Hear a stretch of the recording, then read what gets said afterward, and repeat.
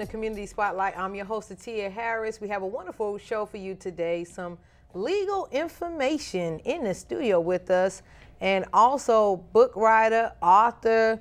Um, I, you name it, she has done it. So we have Connie Whitener who's joining us today, and should I say attorney Connie Whitener. We're going to get into some legal jargon and some book today. How you doing, Connie? I am well. How are you? It's excellent and fantastic to have you here on the program. Thanks for having me. Okay, well, we appreciate you coming. So let's start with a little bit about your background. What areas of law are you in? I do family law. I'm moving into collaborative family law, so I'm moving away from court and into mediation, counseling, that type of thing, more resolution than fight and business law, contracts, business formation, copyrights, trademarks, that type of thing, and also estate planning. Okay, so you also have an alter ego going on, and we're gonna kind of get a little bit of feedback from every little piece of you. Okay. Okay, and there's somebody else in there. Who is it?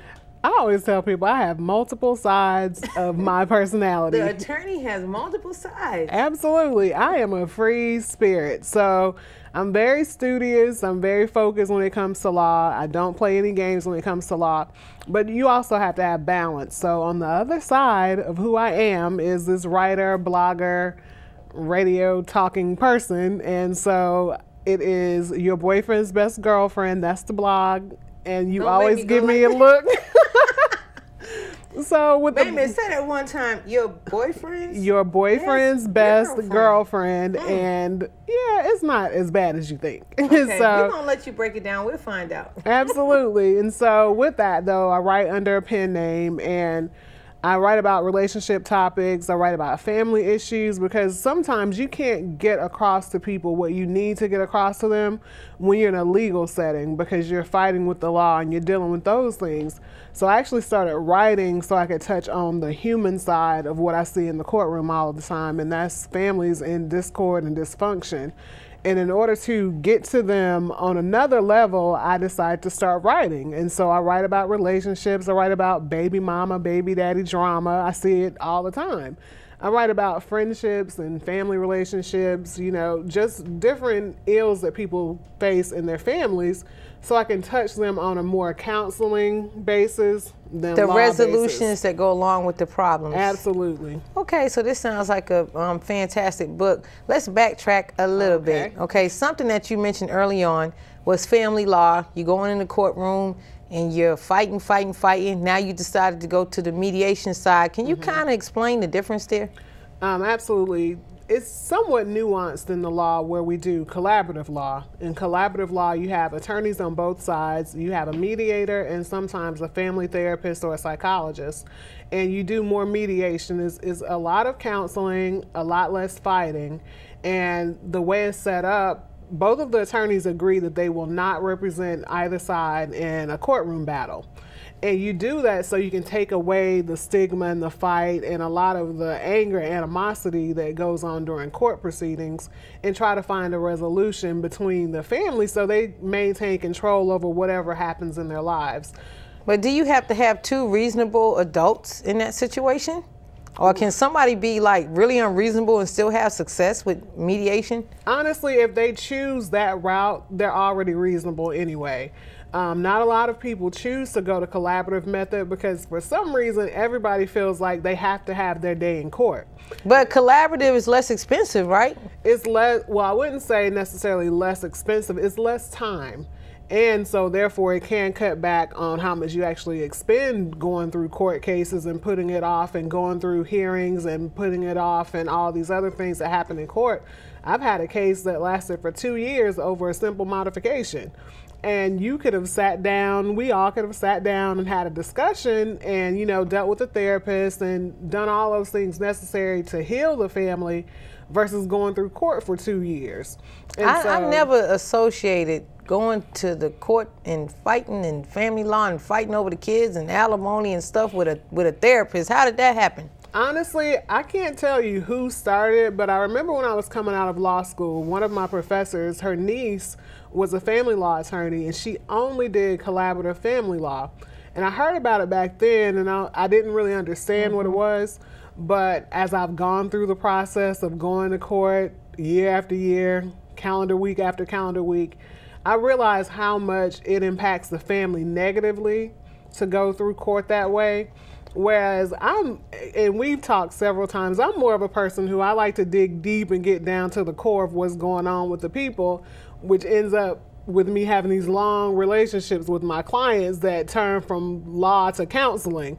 And so And here comes the therapist with the comes- healing. Exactly. and so that's what collaborative law is about. It's about finding a resolution that's more permanent than a court order.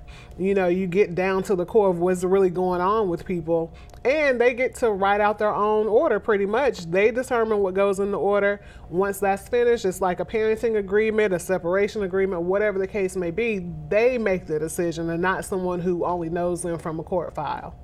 So let's go into the business law um, because you operate in that area. Um, give us some scenarios there. Okay, with business law, um, we've spoken about this before. With business law, you have to be very careful in dealing with different business people. You have to make sure that they're licensed, you have to make sure they have all of their ducks in a row, and know what they're talking about when you're dealing with them.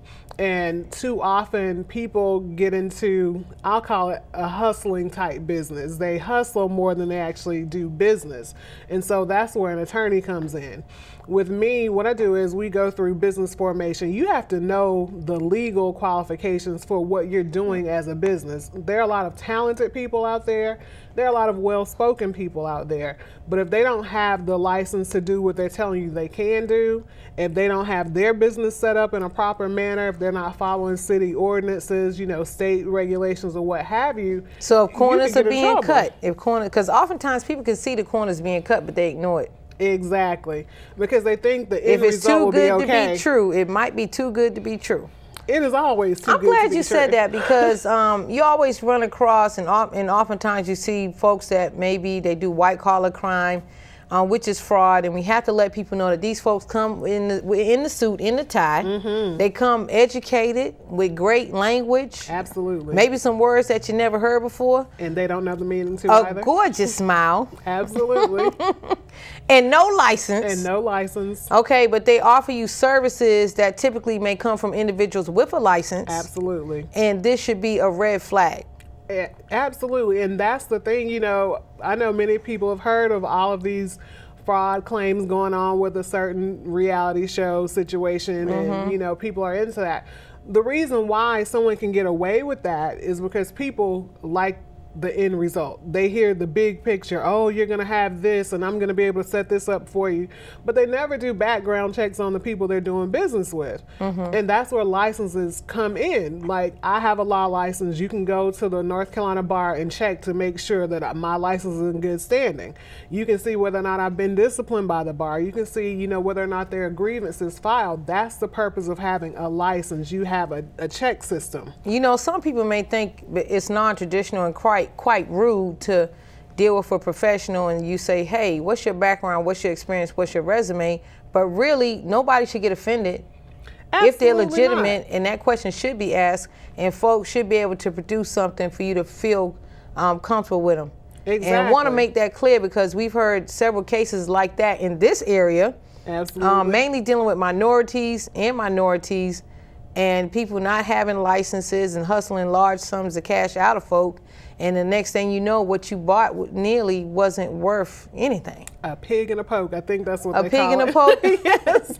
Okay, so that's where you step in. But also, when Mm-hmm. folks want to set up a business properly, Absolutely. you assist in that area. Exactly. And that's the thing, you know, whenever you have a talent, if you have a talent, if you know how to do anything, you can turn it into a business.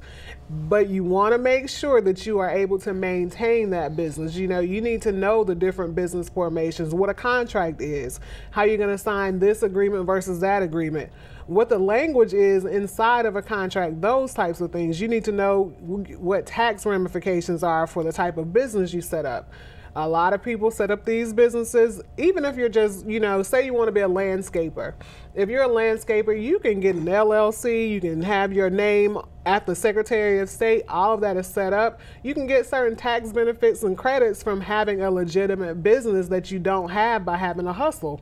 You know, hustles are great to have the hustle mentality, but you need to have a legitimate business to make business moves. And that's a, what a lot of people don't do and they don't realize there are so many benefits to doing it. You can get government contracts, you can get you know city contracts by doing it the right doing way. Doing it the right way.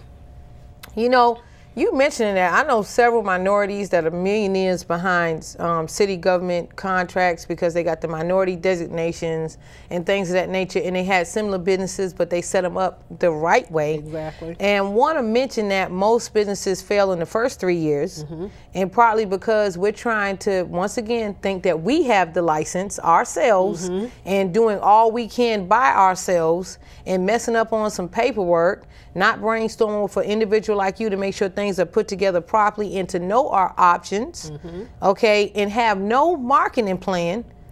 But we do have a great idea. Absolutely. But we're going into business. I was talking to somebody earlier today um, that just, you know, really started um, gearing up on a particular project in a business. Um, they have excellent rates, they have excellent talent and everything. But I said to that individual, but the more people that know that you have this, the more customer base you can get to.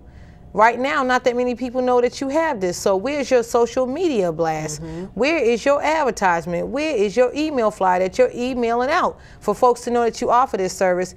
And so, we make a lot of mistakes as individuals when it comes to setting up business. And so, you do the structure, but anything else you add to that? Absolutely. You know, I'm a social media guru. I love Twitter, Facebook, whatever, and it's mainly because of my writing. But I also, there are certain things you need to know legally about social media. And a lot of people don't know those things. And so I deal with that. I, I work with that as far as, you know, I can set you up an email, social media campaign, whatever. Um, I do that with my writing. And so with that, you don't even have to lift a finger. You can set up everything automatically, it just goes. But a lot of people don't know that because they see things and they get intimidated by it. And so even with setting up a business, there's a whole package that comes with that. You know, just not just setting up the business. You need to have a business plan, a financing plan, a marketing plan. Those are all things people don't think about when they decide, okay, I decided I'm going to do this. Now I'm going to be a self-employed business owner.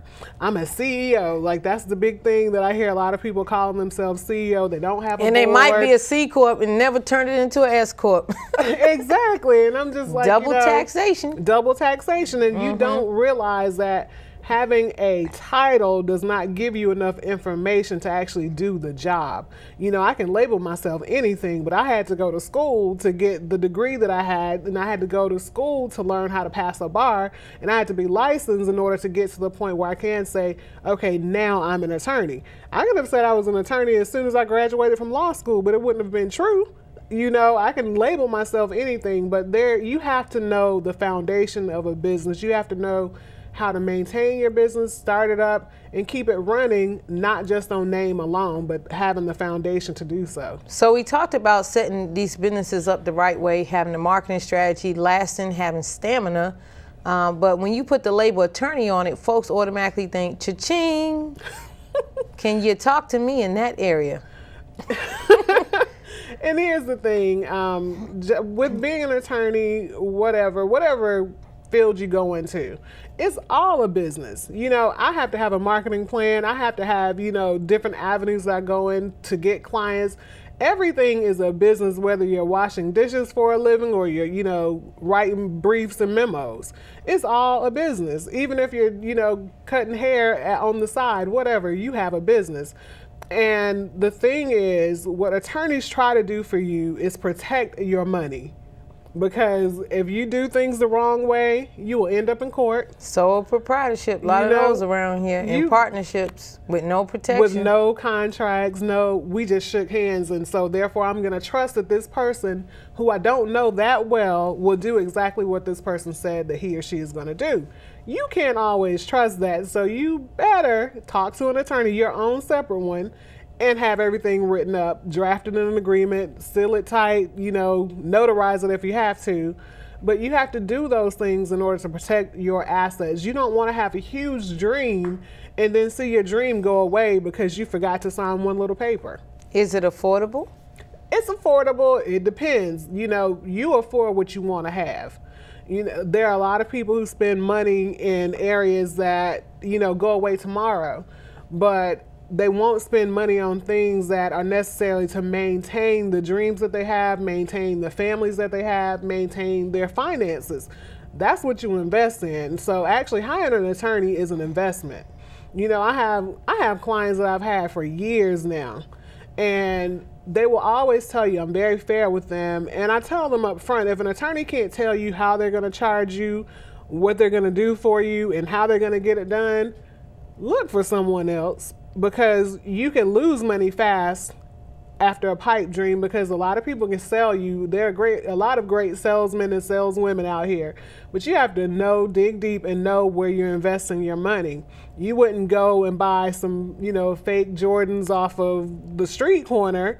If you wouldn't do that, don't just go off of someone's word. Do your background checks, do your information, and then it will be worth it. No matter how much the attorney charges, if they are on top of their game, it'll be worth it for you. So let's talk about trademarks and patents because many people um, are in need of it. Some of them don't even know they're in need of it. And um, you have some people that say, hey, it's $10,000. Hey, it's 500. dollars mm hmm You know, I'm like, wait a minute. I've heard somebody even say, hey, it's $99. I'm confused. Okay. Can you clarify this? yes. First of all, who needs it and clarify this money piece? Honestly, whenever you come up with a great idea, you have a great idea, you have a new invention. I, I saw something one day where someone invented this hair dryer that had these attachments that blew straight into your scalp. And so, you know, your hair dried more quickly. You weren't just sitting under there with your ears burning, basically. And so, a person like that, they need a patent for that because it's a new design feature. They, you know, improved upon something that was already in existence, but they made it better. So that, so you can do that, make something better and patent it. Absolutely. Okay. You can make something better and patent it. You know, find a different function for something. Or if you're writing, um, as we spoke about earlier, I'm a writer, so I got my new book, Copyright, copyrighted with the U.S. Copyright Office.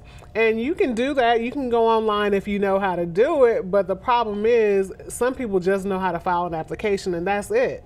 But there's so much more to it.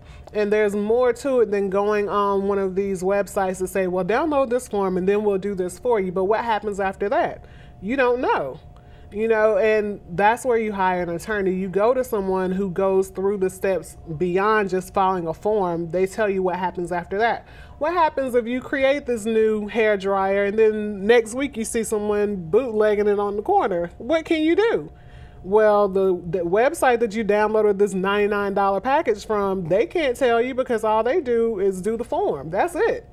But if you hire someone, you know, a patent attorney, and patent attorneys have an engineering and scientific background, so they know what they're talking about with that. Trademark attorneys, copyright attorneys, they've done those types of things before. So you go to someone with the credentials and who've actually done it, and you're not just left out on your own.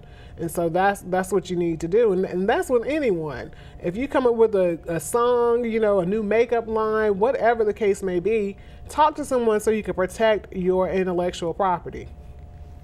Is it affordable? That's my favorite word today. Let me ask you this. If you drive a car and it takes premium gasoline, but you want to put in the what is it 87, 87 unleaded. 87 okay. Now if you put the wrong gasoline or engine oil in your vehicle mm-hmm. it'll tear up. Mm-hmm. so would you rather pay the premium price up front and save a lot of money down the line or go cheap and pay a whole lot of money later and, and so, to fix it. I think I'd rather do the premium. Exactly. And so that's what an attorney is. They're saving you money in the long run. Okay. Um, I think that's a good thing. Now, I heard one person tell me that they were quoted $10,000 to patent something. Is that realistic for something like that? It depends on what they're patenting because you have to understand there are a lot of people who have, there are millions of patents. And companies, huge companies, computer companies get sued based on patents all the time. So it's possible that it could cost that much because you don't know what else is out there. You don't know how many times that attorney is going to have to fight for you when someone's trying to infringe on your on your patent. Mm-hmm. And so it depends on the details. So I can't give you a dollar amount. Oh, it should be this versus that. I wouldn't know unless I saw what it was that they were actually going through and having to deal with. Okay, okay. All right, my friend um, that I'm thinking of that said that she just simply had like a logo that she wanted patent because she wanted a clothing line and she wanted to label it with her logo. So she wanted to patent and trademark the logo. Okay, so you don't patent logos, you trademark logos. Okay. Okay. okay. Or you can get a copyright if you're using it in a certain area. Now, $10,000 for a logo, is that I another hustle? that's a hustle.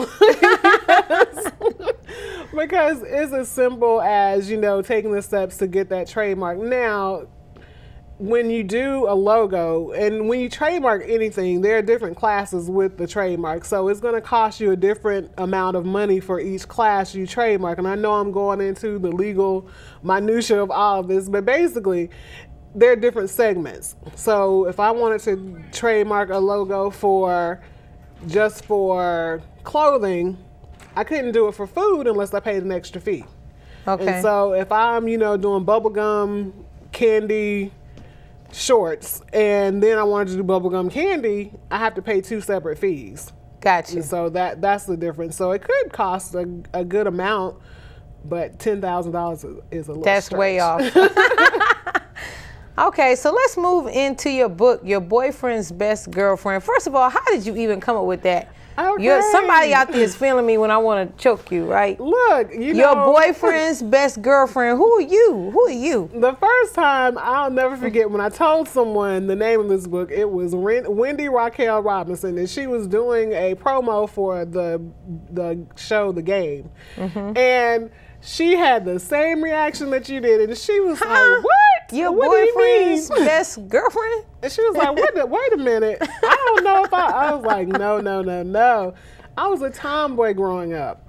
I mean, straight up tomboy, wearing boys' clothes, boys' sneakers, the whole nine. My hair was always in a ponytail. I wore my dad's clothes, like that's how much of a tomboy I was. And I got along well with guys, and I always have. We've, you know, built that type of bond.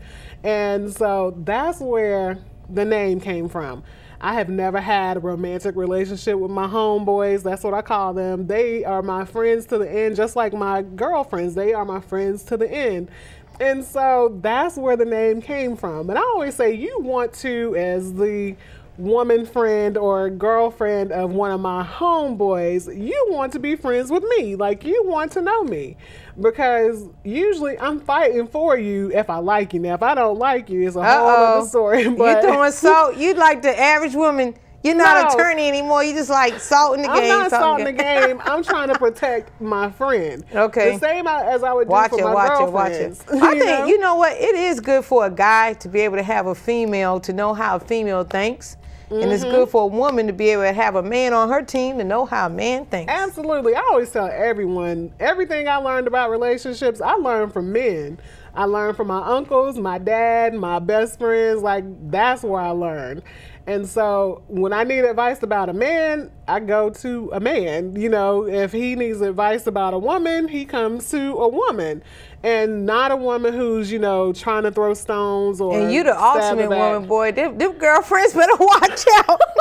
no. These boys are these these boyfriends' best girlfriend is an attorney. What kind of advice you giving them? Give them get good, the prenup. Look, I sure do. I do get a prenup. Make sure I'm sure gonna do your prenup. It's all gonna be tight. It's going to be sealed tight because my boys are like my brothers, and I love them to death, and they love me to death. I like even in the book I say my my homeboys are were my therapists, my my mechanics, you know, whatever I needed at the particular time. Now, and even in the book, I now let me say this because it can go a little too far because I have had boyfriends in the past get a little upset about my closeness with my homeboys. Those aren't your brothers, but they are. To me, they are. But they're not to someone who is being introduced to how I handle my personal life. And so that's been a point of contention at times. And so I write about all of that in this book. And, and honestly, it comes from a good place and I talk about relationship issues that are so deep that nobody wants to talk about, hmm. you know. And it goes there. I go there, and it, starts with my background, being a tomboy, being you know raised both in a single parent home and a two parent home. Like I've feel like I've lived both experiences. So, and I, and then I talk to men in the second half of the book, and they open up about things that they normally wouldn't talk about to anybody else. Well, um, I just think you are a package. we got the attorney over here, and we got the homegirl over here with the attorney that can get. No, I'm just joking. But anyway, um, I, I, think this is a great book, and yeah, uh, relationships and a lot of experience, and getting it from a man's standpoint, and getting it from a lady's standpoint, and because men are from Mars. Women are from Venus. That's what I said say. that wrong, right? Not, well, but but no, we our minds are somewhere else, and we're looking at stuff totally different. You know? Absolutely. Yeah, yeah. But I appreciate you for coming on the program today, giving this information. Thank you. You guys are watching the Community Spotlight, and we want you to tune in next week, same time, same place, right here